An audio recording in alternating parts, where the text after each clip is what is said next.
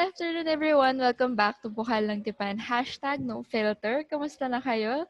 Um, we are so happy to be with you again. This is the online discussion of CICM Bukal ng Tipan and I am Chrissy Pagirigan, your host. And I am Andrew Velasquez for hashtag no filter para sa episode natin ngayong linggo. Crazy, may tanong lang ako sa iyo. No? Kapag ba Go. kayo may outing ng mga barkada mo, paano yung ambagan ninyo? Yung sharing? Na-miss ko tuloy lumabas, kuya. Talaga tinanong mo yan ngayon, ano? pag, ano, pag nung time na pwede pang gumala, usually ang ambag ko, pagkain. Kasi Oo, wala namang, oo. hindi pa ako marunong mag-drive, walang, ano, wala pang kotse, ganyan. So, usually food, yung kakulitan, yung, ano, um, gas, Ah, um, pwede ding kwento, yung mga ganon. Ikaw ba? Ano ba usually ang dala mo? well, sa, ano? sa kwento, para sa akin, mahalaga talaga yung ambagan o sharing na tinatawag. No?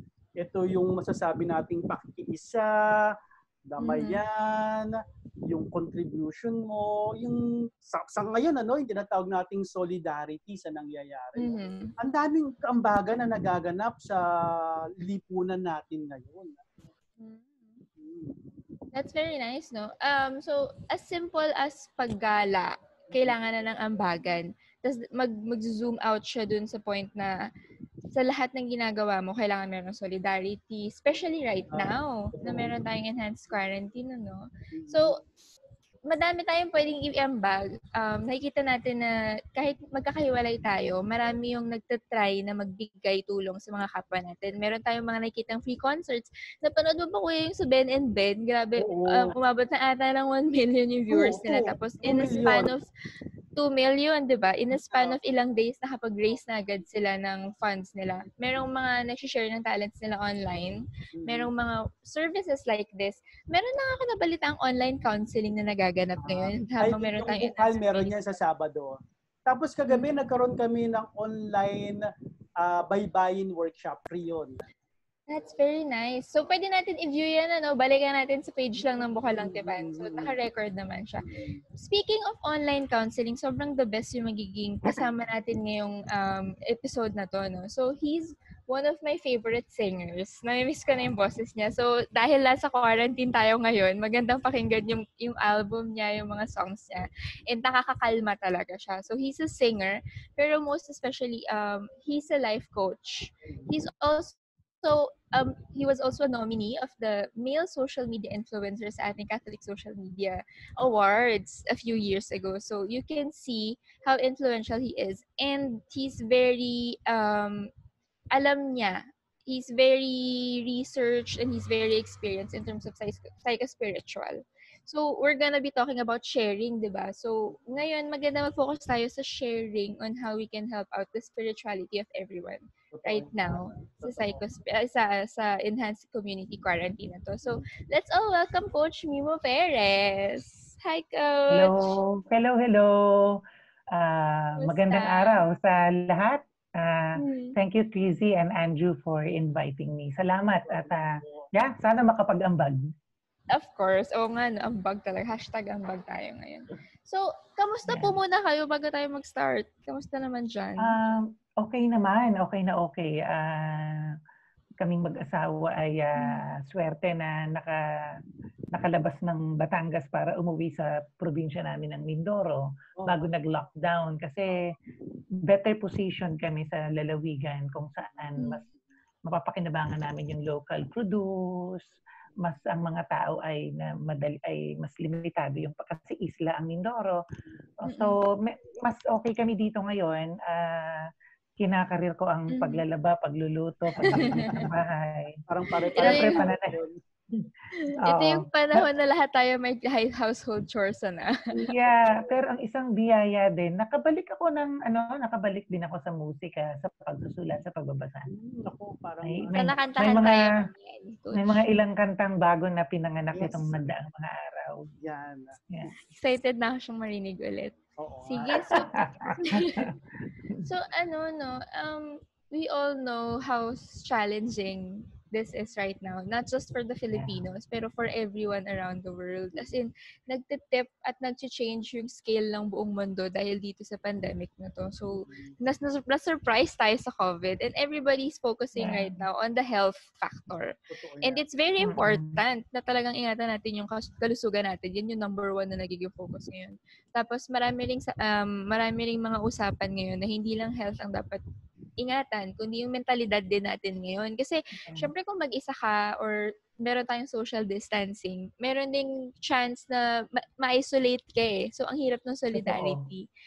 Pero there's- ganun, ano? Nakakapraning. Well, present. Praning na praning na ako. Hindi ako salita na sa bahay lang. So, yung, yung struggle, right? Um, nandun tayo sa point na ang dami natin kailangang alagaan. And meron tayong, na, sometimes na mislook natin or hindi natin napapansin na meron din isa pang importanteng inaalagaan. The spirituality of everyone. And right now, coach, ano ba yung sa tingin mong dapat nating gawin or paano natin may paano tayo makakapag-ambag sa kalusugan ng spiritualidad ng mga tao ngayon kahit na magkakahiwalay tayo? Oo. Ah, ang gan salamat doon sa tanong kasi para siyang isang pintuan na makapasok talaga tayo sa isang napakahalagang aspeto ng buhay natin. In fact, kanina nung iniisa-isa mo, ah, physical na aspeto, ah, material na pangangailangan, health, etc. Ah, i- honestly, if you ask me, hindi nakahanay doon yung spirituality. Mhm. spirituality, if you ask me, oh, ay, ay, ay siya yung nagahawak sa lahat. Siya yung sumasalo sa lahat. Mhm. Pag yun, ang, pag, pag yun ay isinihanay mo lamang, magkakaroon ng imbalance, siya dapat yung sumalo sa lahat. Halimbawa, ang isang magandang pwede natin gawin, yung ginagawa na ninyo ngayon, itong inisyatibang ito na nagkikreate kayo ng pagkakaugnay-ugnay ng palitan ng kung ano yung mas totoo, mas mas permanente, hindi Mhm. yung madaling lumipas. Kasi yun yung nawindang tayo eh. Ang, ang dami sa kinasanayan natin huminto. Mhm. Ah, kala natin, parang suddenly parang ginulantang tayo ng ng COVID-19. Ha, hindi nyo kontrolado ang buhay. Mhm. We were living in Oh, we, we parang we were in a perpetual state of illusion na Mhm. we are secured, we are in control of everything, we we do what we want to do, may schedule tayo. Tapos biglang lahat yun, ah, Nayanig, no? Nayanig. Oo. Oo, nayanig. Dalawa yung pwedeng mangyari. Magalit ka, mapraning ka, ma, yan, yung, yan, yan yung madalas nangyayari. Mainis ka, malungkot ka, ma, ma-insig, ma, ma-depress ka. Yan yung isa. Yung initial na response natin na fear-driven, I Nagbo-breakdown. would say. Oo. Ang common denominator ng mga yon fear-driven siya. Mhm. Pero ang isang magandang pwedeng mangyari on the spiritual dimension ay yung pagkagulantang, yung pagpangangapa ay bu- ay magdada, maghahatid sa atin sa panibagong pagkamulat at pagkamangha oo nga, hawak ako ng Diyos. Oo nga, ang buhay ko hindi ko pag-aari. Mhm. Ah, oo, oo nga, mas pare-pareho kaming tao kaysa sa magkakaiba. Mhm. Ah, oo nga, yung pagkakaiba pala namin ng ng lahi, ng relihiyon, ng kasarian, excuse lang pala Mhm. para ma-enrich namin ng isa't isa. Mhm. Kasi the fact na si Andrew iba sa akin, ikaw crazy iba sa akin, you have so much that I can learn from or that I can benefit from. In the same way na sobra akong iba sa inyong dalawa, that I have always something to offer to you and to others. So, itong mga to, dinadalisay nitong karanasan na to. Yes Kung bukas ka. Very. Totoo. Kailangan Kung- kung aware bukas ka muna. At yung, pag- yeah, at yung kabukasan na yon sa spiritual dimension na gaganap. Mhm. Pag Ang ganda ay may... nun. Ang ganda nung, nung ano, nung, namulat po ako ng bonggang-bongga na ang spirituality ay nasa ibang dimension. Para siyang, um, para siyang umbrella na nag, Totoo. nag- uh, suma, nagsasakop dun sa lahat ng mga kailangan pa nating alagaan. So, ngayon, ngayon pa lang po nakita ko na yung weight niya, how important it is. Pero, Yeah. um, ito yung isa sa mga pinakamadaling makalimutan. Sa tingin nyo, bakit po kaya? Like, um, isa siya sa mga pinakamahirap i-nourish? Meron bang ganong factor? Oo. Pero, paano Kasi nga, natin, Oo. Siguro paano dahil po natin iba-iba- ipaglalaban? Oo. Tsaka iba-iba siguro yung pagtingin natin o level ng spiritualidad na yan. So, paano nga po? Yeah. Ah, yan. Magsisimula talaga sa personal mong pagkamulat. Doon magsisimula eh. pag, pag halimbawa ako bilang si Mimo ay nagkaroon ako ng pagkamulat na, ah, all this time pala, akala, kasi ba, sino ba yung author na nagsabi nun? Ah, hindi daw tamang sabihin na meron tayong kaluluwa. Huh. Hindi, mali yun. Kasi parang, ah, meron tayong kaluluwa. Mali. Kaluluwa ka, meron ka lang katawan. Oh. So instead of saying I have a soul, no, I have a body because to begin with, the more permanent, the more the more real uh, uh, na, na, ang- yung pinakatotoo na na hindi mawawala kailanman ay yung pag yung yung immortality ko na Mhm. bilang anak ng Diyos.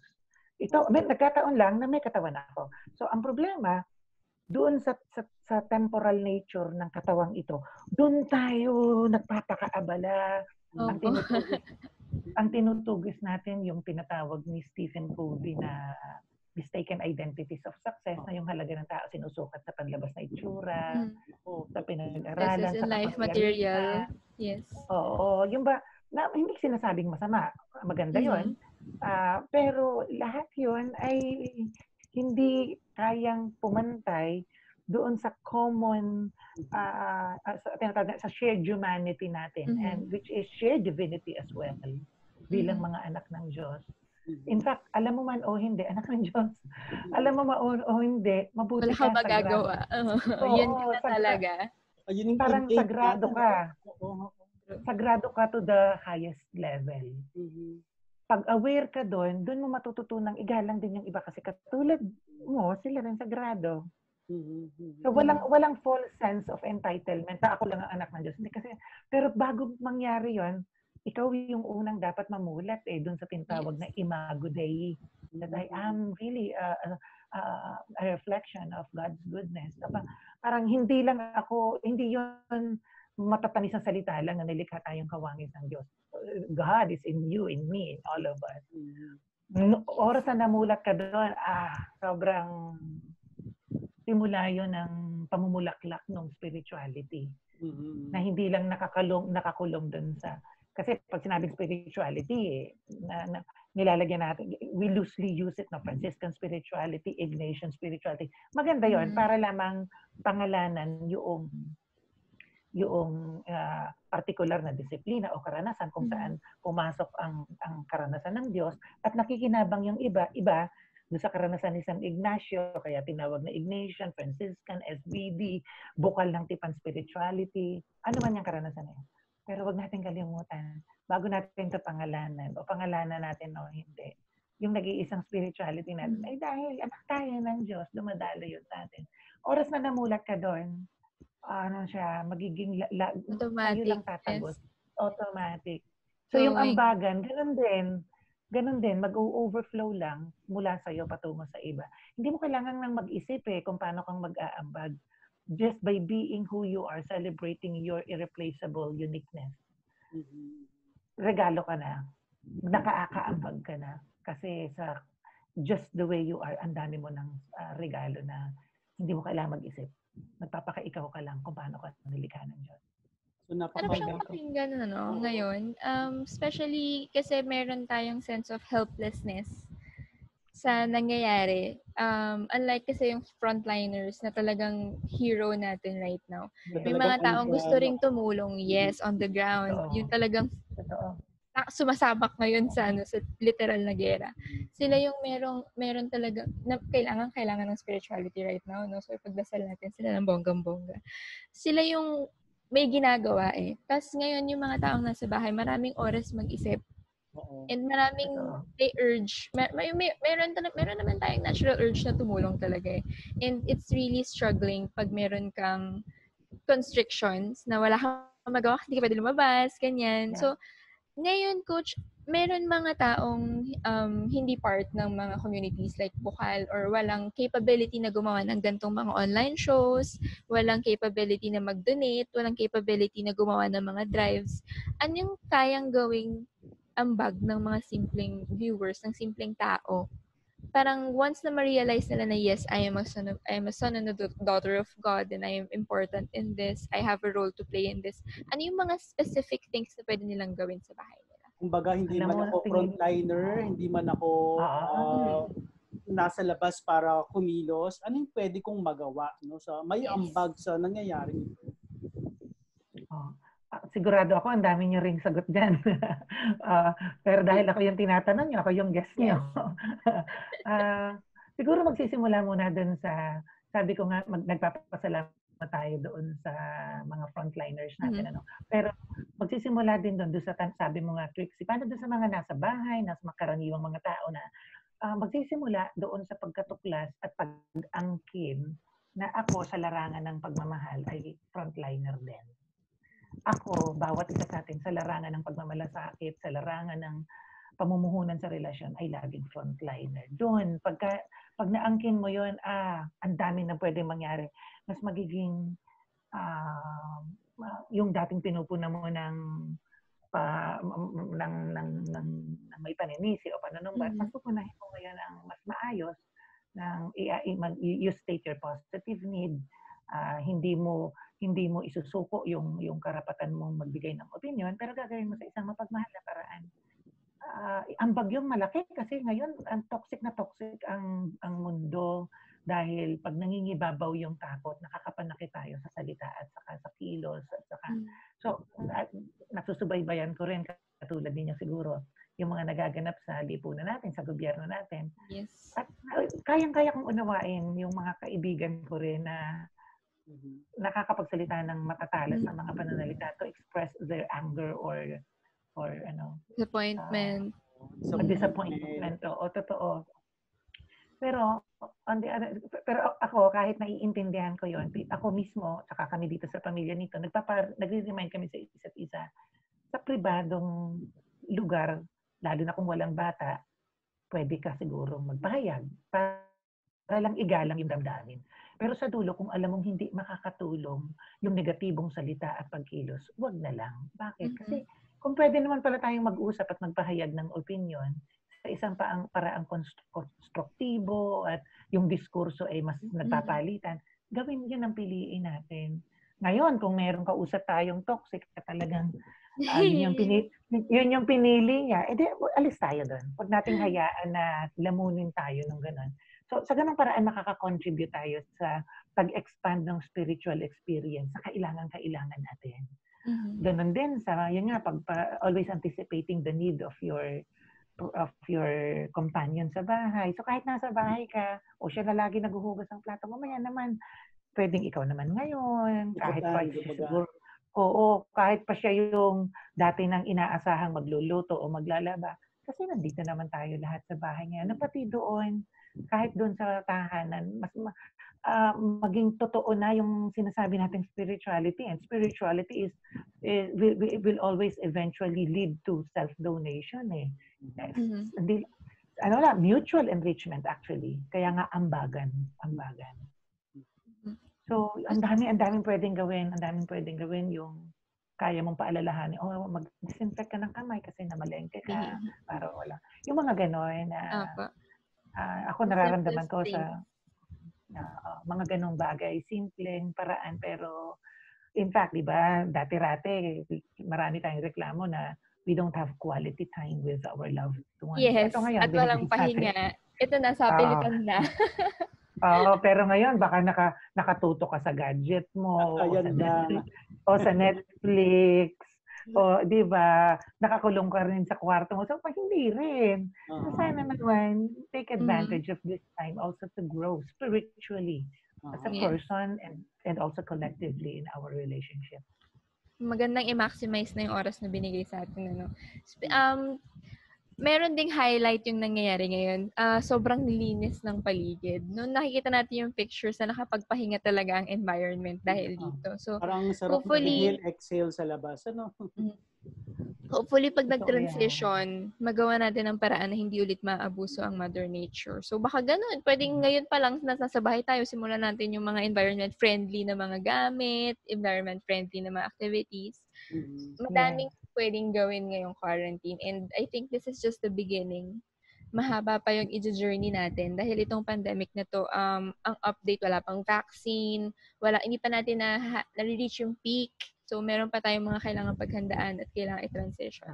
At ako, Speaking- nani- o naniniwala din ako na sa mga Yeah. pagkakataong ito, ang simbahan din ay naghahanda na, nag-iisip na ng kasi may nangyari eh, no? May Mm, tumigil. yes. At, ang, at ang, ang, ang paniniwala ko sa mga oras na to, ang simbahan ay nag-iisip na din kung paano itutuloy no? O paano mababago ang mukhang ito, ang galaw na ito. Kasi definitely ang daming nangyari no? Sa loob at labas ng ating sarili at ang simbahan ngayon ay nag-iisip na paano tayo siguro magpapatuloy Mhm. upang harapin ang bagong simula no? Na tinatawag Yes. pagkatapos ng lahat ng Oo, sana by then, ano, makasabay na rin tayo dun sa importance ng virtual, Mhm. ng virtual um, yung presence. Mhm. Kailangan na kailangan natin, especially right now, no? So, Totoo. ngayon nakikita natin yung mga pare, nag-online mass, mayroong mga Oo. online petitions. So, Oo. lumalabas yung talent ng simbahan in terms of maximizing the digital Meron, arena. meron yan, ta- meron yang very talented na Italian na pare, eh, may filters pa. Ayun, taray ah. Ito ba yun? hindi, hindi niyo ba alam yun? Yung nagka, na, accidental lang actually. Nagmimisa siya, Hindi nagala, napindot niya yung filter. So habang nagmimisa, kung ano-ano mga lumalo. Ang cute nga eh. Sana Pinapakita na, trending yun ah. So, at least Ah. madami makakanood ng misa na yun. And speaking of that, by next week kasi eh, mag-Holy Week na. So Yes. paano ngayon ang Holy Week ng mga tao na hindi pwedeng Ah. lumabas, no? Ang daming mga grupo, simbahan, organisasyon na gumawa ng kanya-kanyang pamamaraan. Halimbawa, sa Bukal ng Tipan, ah, maglalabas ang Bukal ng Tipan ng tinatawag na ah, home liturgy for the family. So sa Mhm. panahon na ito ng hindi tayo makalabas. So, Mhm. ilalagay yan sa page ng Bukal ng Tipan, i-email sa mga journey partners, no, nang mailang mungkahi lang naman. Hindi namin sinasabi, hindi na sinasabi ng Bukal na ito yung gawin nyo, ito yung pinakamaganda. Kasi mas marami din naman nagkalat dyan. Pero Daming isa ito, options. isa ito na maaring gawin ng pamilya. Pang pamilya ito, no? family liturgy na pwede mong gawin. Paano ka magpapalaspas? Paano ka magpapahalik? Paano kayo mag-washing of the feet? No? Na bawal hawakan ng isa't isa. So, yan po yung inihanda ng bukal ng tipan. Nabangan po ninyo yan. Oo, very Ganda, exciting ganda. ano. Balikan natin ang Bukal lang Tipang page para dun sa module na ito. Um, Yes. Hindi naman siya buong araw na 12 hours mo gagawin, no? So, ilang ilang oras lang ang kailangan sa isang Minuto araw. nga So, lang yung ilan doon. very doable siya. So, I look forward to that. Antayin ko Yeah. din yan. So, ngayon, na, ano, nag-strike sa akin, coach, yung sinabi nyo na um, isa tayong kaluluwa na merong physical body. First and foremost, kaluluwa tayo. And it's very comforting in a way na isa sa mga pains ko po kasi is the fact na yung mga naghihirap at may sakit ngayon ay mag-isa sa ospital dahil kailangan nga nilang um- lumayo sa tao para hindi sila makahawa. So, sila yung isa sa mga hindi makaramdam ng solidarity, especially, especially right now na nasasaktan sila, um, natatakot sila na baka mamatay na sila. So, yung fact lang na hindi natin kailangan maging physically present doon dahil spiritually we are one together is very comforting for me. So, ang laking factor na ano, nakita natin yung importance of prayer na Mm-mm. the praying and being with them. Ang totoo, ah, yung matagal nang alam ng mga mystics, ah, pag tinuturo nila na yun nga, kaya nga sa, sa kultura ah, ng, ng ebanghelyo at ng ating buhay bilang ah, miyembro ng isang simbahan o kahit anong relihiyon for that matter, I guess I can say that, yung yung intercession, yung power ng praying at blessing, kahit kahit pa separated tayo ng distance, ah yun ay scientifically proven na. I mean, ah, yung yung yung quantum physics ay nagpapatunay na talagang tayo ay more than this physical body. Yung energy natin na ngayon ay kayang sukatin at kayang makita gamit ang teknolohiya at siyensya, eh talagang nagpapatunay. Negatively or positively, we affect one another. We are inherently interconnected. Mhm. So, ang- kaya talaga, hindi lang pala yun matamis sa salita, hindi lang pala yun parang paniniwalang spiritual lamang o relihiyoso, kundi isa siyang katotohanan pinatutunayan ng siyensya. Yun yung maganda na ah, dumating na tayo sa punto ng kasaysayan ng sangkatauhan na yung dating inaakalang magkalaban, nagka-complement talaga more and more na. ang ang siyensya at ang at ang at ang, at ang relihiyon o ang pananampalataya. At ito'y napakaganda at magandang at pag pag, kaya tuwing pinagdadasal natin yung mga frontliners o yung mga mag-isa na naroroon sa sa ospital na hindi mapuntahan ng kanilang mga mahal sa buhay, maniwala ka, nakakatiyak ka, umaabot sa kanila ang epekto ng pagmamahal at ng positive energy na pinapadala mo Thank sa you. Coach. So, napakaganda nung factor na yun. Ano? So, be, kahit nasa bahay ka lang ngayon, 12 hours, 24 hours ka man dyan, dali ka makalabas. Marami kang pwede maiambag sa spiritualidad ng ating mga kapwa Filipinos and Ah. especially sa mga tao sa Ah. buong mundo na rin. Ano? So, um, siguro to wrap up, Coach, ano yung message mo sa mga viewers natin right now? Message of love, message of positivity. Ngayong um, meron tayong enhanced quarantine. Mahaba pa kasi to eh, no? So, ano yung mga pwede mong Mhm. sabihin sa kanila to encourage positivity, to encourage sharing, and to to strengthen and enrich their spirituality. Yung nakakahawang enerhiya na yan. Yes. Oo. Ah, siguro, ah, yun, gamitin natin yung nirigalo sa atin ng Diyos na power of choice. Mhm. Yung kalayaan na yun, another way of putting it is a power of choice, yung God-given freedom natin. Gamitin natin yon para piliin consciously, intentionally, na sa halip na ma-overwhelm tayo ng takot, ng pagkaligalig, ng galit, ng pangangapa, ng anxiety. Ito yung maraming kalaban eh, na hindi pwedeng, nag- hindi ito nanggagaling sa Diyos. Ito ay nanggagaling sa kalaban ng, ng Diyos, yung takot, no? Um, ang, gamitin natin yung power of choice habang ginagalang yung mga damdaming to. Piliin na huwag magpadaig at paano, at, at ang gagawin, pipiliin natin umuwi palagi sa Diyos. Doon magsisimula palagi eh. Personal na pag-uwi sa Diyos, manatili sa Diyos. Kasi pag nananatili tayo sa Diyos, pag umuwi tayo sa Kanya ng walang maskara, ng just the way we are, yung hindi ba natin, kasi akala ng iba, naku, dahil dito nagsisi tayo, Panginoon, magbabago. Ah, hindi ako fan nun. Pasensya na. Ah, lilinawin ko lang. Yung pag-uwi sa Diyos ng walang maskara, ibig sabihin, yung hindi mo susuhulan ang Diyos ng luha ng pagsisisi o pagtitika o magbabago ka na. Lilinawin ko ulit, maganda yon Pero hindi yon yung una. Mhm. Kasi madalas, yung kinasanayan nating ah, law-based religiosity as opposed to relationship-based spirituality. Okay ba yan eh? Mhm. Yung law-based religiosity, gagawin mo muna lahat to in adherence to the required uh, ano, 'di ba? Required of you as an as a faithful or as a member. Gagawin mo to para maging kalugod-lugod ka sa mata ng Diyos. Mhm. Ah, hindi eh. Ang totoong karanasan, ang, ang, ang gusto ko pong pabaon sana sa ating lahat ay umuwi tayo sa Diyos bilang ikaw, walang maskara. Hayaan mo ang Diyos mahalin ka kung sino ka. At mula dun sa karanasang yon, kaya ka magtitika, kaya, ka, kaya mo pipiliin gumawa ng mabuti, kaya mo gagawin yung kalooban ng Diyos. Pero hindi na dahil dahil sinusuhulan mo ang Diyos, kundi dahil nagpapasalamat ka kasi mahal ka ng Diyos, magsisi ka o hindi. Pag yun nangyari sa'yo, ikaw ay buhay na presensya ng Diyos sa mundo. Thank you so much, Coach. Ang ganda na no, no? So, ako mismo gagawin ko siya at makakapagmuni-muni ako ngayong Holy Week. Ang gandang pabaon nito for Holy Week. So, maraming maraming salamat, Coach. Ming. Salamat po Salamat Gino, din. sa pagpapaunlak sa bukal ng tipan no sa imbitasyon namin makasama ka namin sa araw na ito. Salamat din sa inyo, Andrew Pixie. Salamat. ano yun? Salamat Hashtag po sa Hashtag Ah, okay. dito sa ating hashtag no filter. Yes. Okay. Salamat, Coach. Salamat See you much. soon.